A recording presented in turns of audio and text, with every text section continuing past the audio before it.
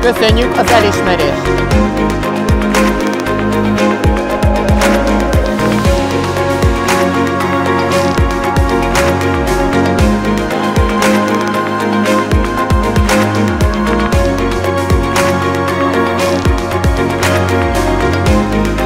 Büszkék vagyunk arra, hogy Ketényegyházán új üzem épül erős tisztának.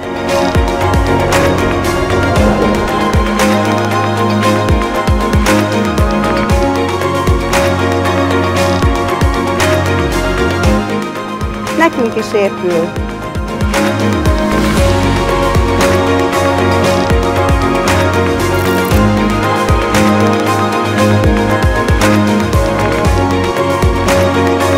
a jövőnket szolgálja.